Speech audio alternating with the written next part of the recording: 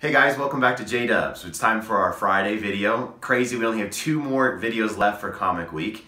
Uh, but today we're going to play a real quick game called Overrated or Underrated. So Anna's going to help me out. She's going to read a couple titles, and I'll give you my opinion on it. In the comments, let me know if I'm right or if I'm wrong and why.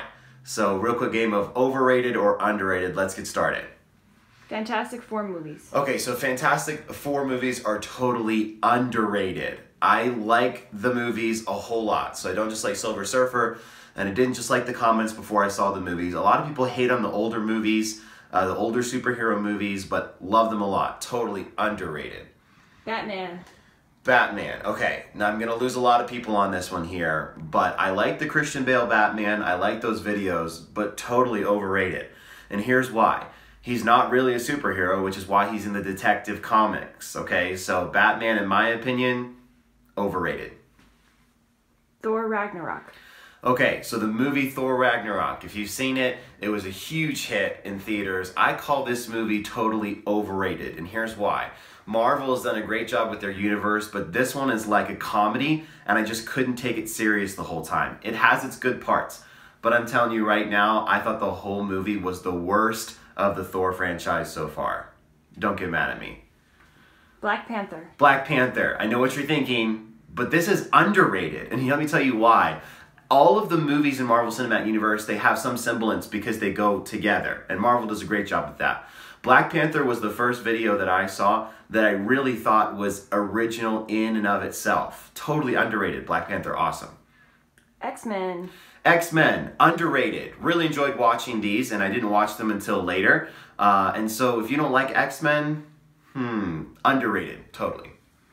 Okay, another big hit with fans. I just personally don't get it. Too much comedy, a talking raccoon. I just don't get it. Overrated. Spider-Man. Okay, now don't get me wrong, but I actually have not had the patience to sit through the older versions of Spider-Man, and I have yet to see all of the Tom Holland versions of Spider-Man. So, Spider-Man's a huge favorite. I appreciate some parts of it, but overall, I think Spider-Man is overrated. But please keep watching the video. Superman, Man of Steel. Okay, Superman, Man of Steel. Incredible, totally underrated. One of the best superhero movies I've personally seen. Got a lot of hate, and I don't know why. It looks great and just gives you the feels. So, underrated, Man of Steel. Okay, for this one, it's going to be a quick round. Anna's going to announce the name of a villain, and I'm just going to give you real quick overrated, underrated, and if I have to, a brief description. Hit me. Loki. Loki's underrated. Joker.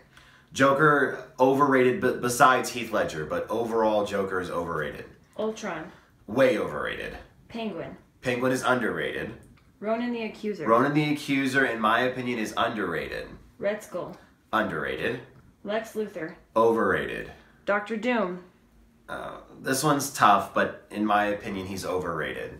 Thanos. Now, there's a lot of build up for Thanos, but only because it was a big deal. So, underrated. Magneto.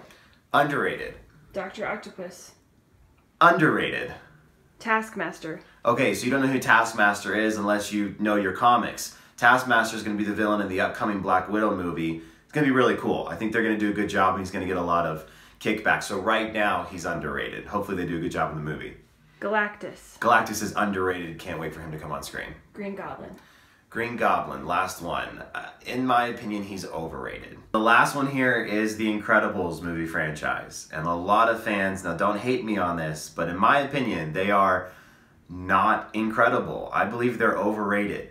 One, two, they're just not worth watching again. In my opinion, they're not a valid superhero franchise and kind of boring. Now, I know some of you are going to hate that, but just my opinion that they are overrated. Okay, so we're about to do our drawing from yesterday's competition, and we have two days left, so two more videos in our comic week here. Hope you've been enjoying this content.